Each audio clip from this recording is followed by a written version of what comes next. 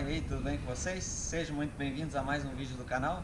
Eu sou o Fabrício, esse é o canal Rota Alternativa BR. Eu falo aqui de Caxias do Sul, no Rio Grande do Sul. E dessa vez não vai ter rolê, não vai ter acampamento, né, passeio. Como tá aí no título do vídeo, é, eu vou fazer a troca dos discos de, de embreagem da minha moto. E para quem esse vídeo é, é dedicado a quem tem a GS, quem quer conhecer um pouquinho sobre ela e quem tem curiosidade, o pessoal que me acompanha aí por causa da moto no canal e no Instagram. Quem não segue no Instagram lá, dá uma acompanhada lá, que eu posto alguma coisa lá também. É Rota Alternativa BR, tá? E o que que acontece? Minha moto tá com 30 e 31.600 quilômetros. Então, se for se basear pelo tempo, é pouco tempo para troca do, do, dos discos, da parte de embreagem. Mas é, eu faço um uso mais forçado da moto, faço uns passeios off-road aí. E no último final de semana, mas a gente, eu e minha esposa, a gente fez um rolê ali, a gente foi pra, pra um pico aí no interior, aqui perto de Caxias do Sul, e era uma estrada de chão muito difícil, é, patinava, muita, muita pedra solta, então acabou forçando. Isso já, os passeios que a gente faz é bem fora de estrada. Daí vai ter gente que vai falar, ah, mas você tem que comprar outra moto. Não, eu quero a GS e pronto. Eu podia ter uma Teneré 250, uma Teneré 660, é, mas eu não quero. É a GS que eu quero usar e eu sei que vai ter desgaste de suspensão, desgaste de embreagem, como aconteceu. Então, nada mais justo que fazer a manutenção correta, né? Então nesse vídeo eu vou dar um parecer aí, eu nunca troquei embreagem de moto, eu tenho conhecimento, peguei umas dicas de, de, um grupo, dicas de outro grupo e com a ajuda do meu amigo Diego, que é proprietário dessa GS aqui, com mais de 70 mil quilômetros rodados aí e só alegria, então a gente vai fazer a substituição dos discos, tá? Então a primeira coisa que eu fiz aqui foi tirar o protetor de motor, aí tirei essa tampinha aqui, ó, Aí agora vamos soltar dois Philips. Tem um Philips aqui e outro aqui. Pra poder sacar o pulsador aqui. Depois do, do pulsador daí tem mais acho que um ou dois parafusos M8 aqui dentro. E, mas antes de soltar a tampa, eu já, já tirei os parafusos. Antes de soltar ela, eu vou pegar e drenar o óleo do cárter. Então, para daí depois tirar a tampa e não vazar óleo. Já tiramos a, a pulsadora aqui do lugar. Ela tá aqui solta, ó é, tu vai tirar essa peça aqui, ó. Só que tu marca a posição que ela tá ali na tua moto, tá? E tu segura com uma 19, 20 aqui e um M10, tá? Para sacar essa parte aqui a pulsadora. E tira o aterramento, que o aterramento também é parafusado. Daí agora eu vou vir aqui vou afrouxar. Aqui tem outro M8, outro M8, para daí tirar a tampa. É, ó, começou o vento. Se tiver um vento aí nas imagens, não estresse. Tá? Depois tu soltou ali aquele esqueminha ali, drenou o óleo do motor. Aí tu vem aqui, dá aquela batidinha com martelinha de borracha que eu não tenho, né? Deu vem aqui para dar umas batidinhas, né? Pra soltar, porque essa tampa tá bem lacrada ali. E daí simplesmente, pelo que eu entendo, é só soltar a tampa do lugar. Ah, tem uns guias. Soltou.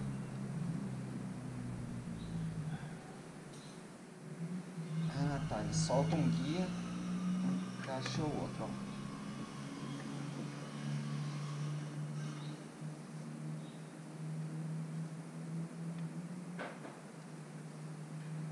Tirar porque essa junta aqui ah, rasgou. Tá? Aqui, ó. Tampinha original impecável. Ah, que da hora isso aqui, velho. Olha ali. Tá? Vamos ver o que, que se sucede aqui. Pode apertar em cima.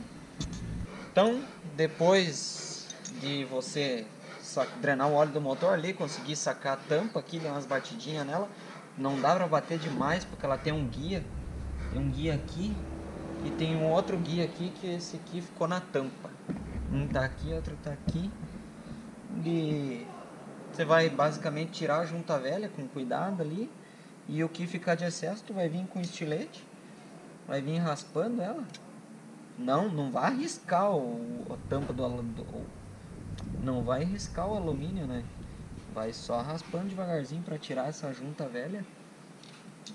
E agora eu vim aqui e tô tirando as molas.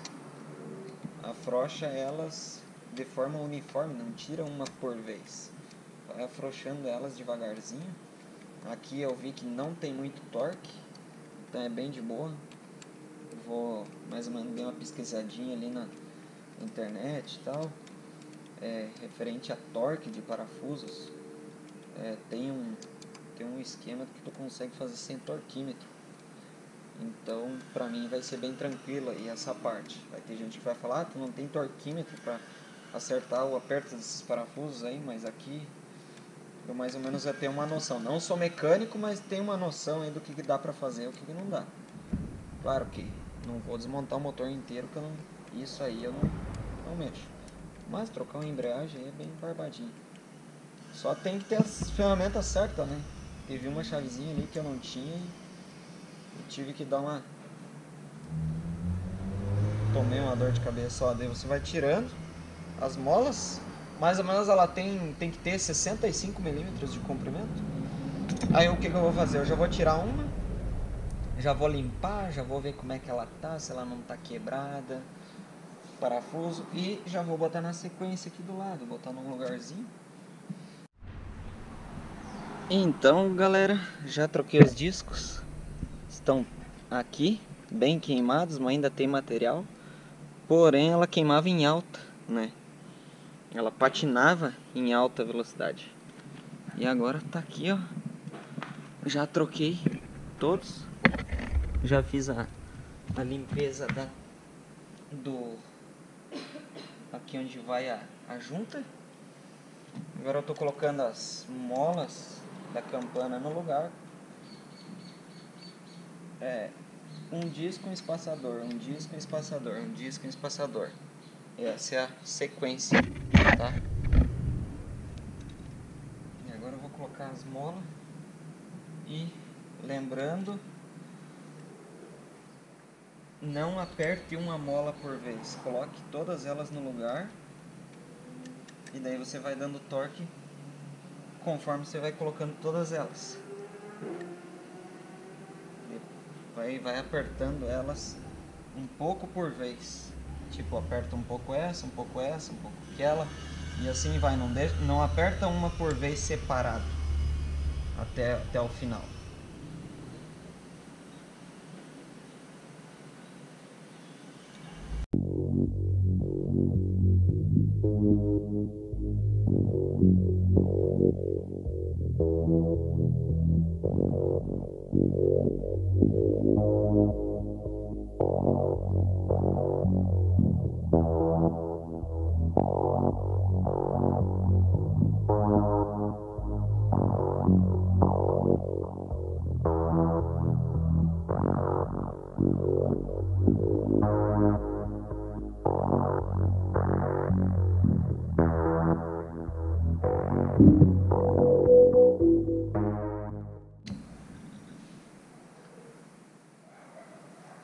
Depois que tu montou a tampa, aí tem dois parafusos compridos aqui dentro, ó. E daí tu vai colocar eles dois. Aí vamos dar um aperto neles.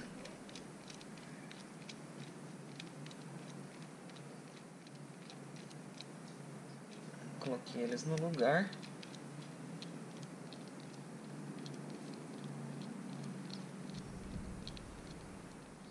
Agora vamos dar um aperto nesses dois parafusos aqui de dentro. Lembrando, não de torque excessivo para não espanar. Isso aqui é alumínio.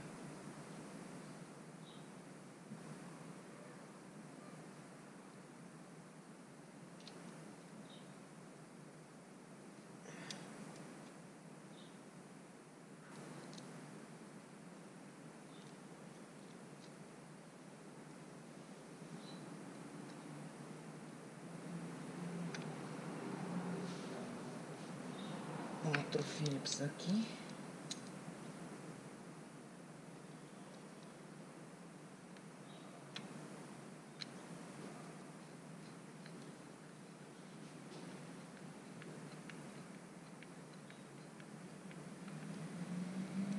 Dá uma encostadinha em um, encosta o outro.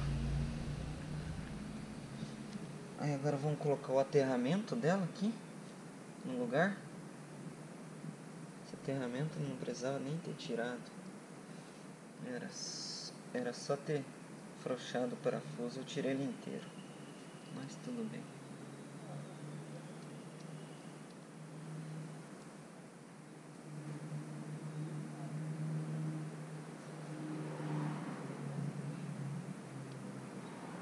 Ali.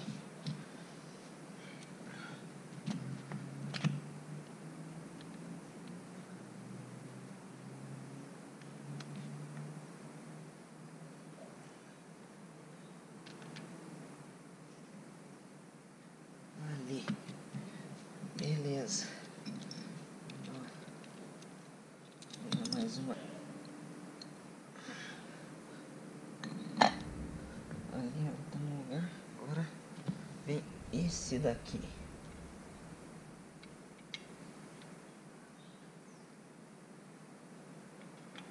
Esse aqui tava assim. Então, galerinha, só pra finalizar o vídeo, é... a embreagem tá trocada. O que que acontece? É... Montei tudo certo conforme o manual, conforme o, o projeto. Aí dei a partida na moto, cadê a embreagem? Parecia que o cabo tava arrebentado, sabe? Aí pesquisei, pesquisei bastante e não achava regulagem. Aí regulei no, no manete e não consegui achar o ponto. Ia engatar a primeira marcha, ah, não tinha embreagem. Aí desmontei ali a tampa de novo, é, tirei todo o óleo do cárter, né? E revisei tudo. Enfim, os, os discos não tem lado, só os separadores. Tem um lado certo ali para você montar eles, não pode vir, montar eles virado. Aí tá, tava tudo certo. Aí pesquisei, pesquisei bastante e não, não tinha Cristo. Aí o que, que eu fiz? Na segunda-feira, e isso já faz mais ou menos um mês que eu troquei essa embreagem, tá? E no dia seguinte, eu, eu fiz no final de semana, na segunda-feira, mandei mensagem para um cara lá de São Paulo que só mexe com GS500. Não sei se eu posso falar o nome dele aqui, mas enfim, vou falar porque vale, vale a pena dar os créditos para a pessoa quando ela te passa uma dica assim, sem ao menos te conhecer pessoalmente, mas te presta um apoio, né? O Fabiano. Fabiano, muito obrigado. Ele é lá de São Paulo. Ele é gaúcho, mas mora lá em São Paulo há uns bons anos já. E expliquei tudo certinho, o que, que eu tinha feito, o que, que acontecia. E ele me passou as dicas e tal. E o que, que acontece? Os discos que eu coloquei, eles são. O Fabiano me falou que são décimos de milímetro a mais, mais grossos que o original. Então, tu somando um pouquinho, são seis discos, seis ou sete, seis discos, sete discos, é, dá um pouquinho a mais e a embreagem não dá curso. Aí ele me sugeriu fazer a troca. Urgente porque. Urgente não, fazer a troca porque não ia ficar bom. Não ia ter regulagem. Aí o que, que eu pensei? Vou então vou tentar desgastar essa embreagem, dar uma forçada nela para ela ficar mais mais para ela sentar mais fácil, mais rápido, né? Para ela dar uma desgastada nesse nesse quantia que ela tem a mais em cada disco. E me explicou bem certinho as regulagens. Aqui, ó, tem uma regulagem aqui e tem outra aqui, certo? Então, são três regulagens, manete, aqui em cima da tampa e essa lateral. E eu fiz a regulagem conforme ele me passou e consegui achar o ponto adequado. Agora o que, que acontece? Quando a moto está fria, por exemplo, agora ela está fria, eu puxar o manete, deixar ela esquentar ali 5 minutinhos, puxar o manete, na primeira engatada de marcha, ela vai dar um trancaço e não vai acionar a embreagem.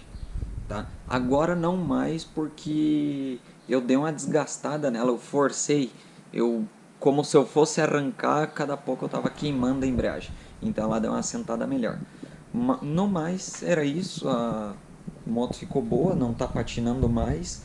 Tá agora com 31.961 quilômetros rodados.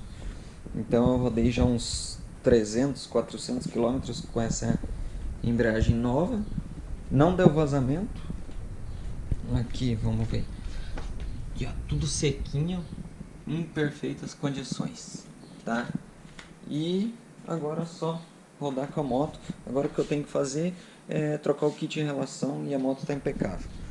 Então, para quem fala que a GS não é uma moto boa, tá aí, é excelente. É, Custo-benefício para mim está se saindo ótima.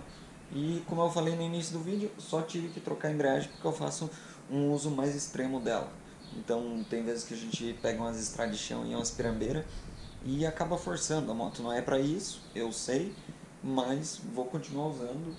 Comprei para usar e era isso. Então esse vídeo não foi muito assim técnico, foi mais ou menos do serviço que eu fiz. Foi um resumo de tudo que eu fiz aí na moto e agora só rodar. Então se gostou do vídeo deixa o like, se não gostou deixa o dislike. E se tiver alguma dica, uma sugestão, deixa aí nos comentários que a gente vai estar tá respondendo aí para vocês, tá? Valeu, um abraço e até mais.